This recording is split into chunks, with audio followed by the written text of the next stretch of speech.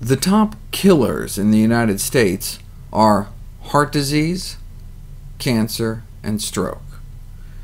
Number 5, accidents. Number 9, kidney disease. Number 13, high blood pressure.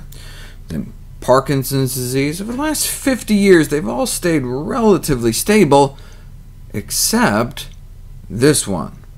Starting out of nowhere just a few decades ago, and now is the sixth leading cause of death in the United States. What is it? Alzheimer's disease.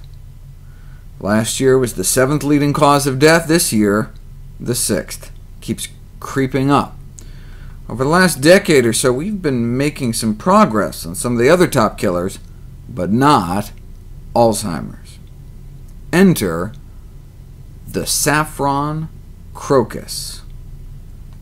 Saffron in the treatment of patients with Alzheimer's disease. It was a double-blind, randomized trial measuring cognitive dysfunction in Alzheimer's patients, comparing saffron to placebo. Saffron is the female reproductive organs of the saffron flower, which we can buy as a spice. So what did they find?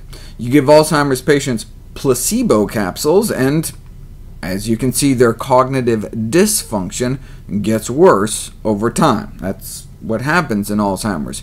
You get worse and worse until you die. Unless, it appears, you spice up your life with a little saffron. Conclusion.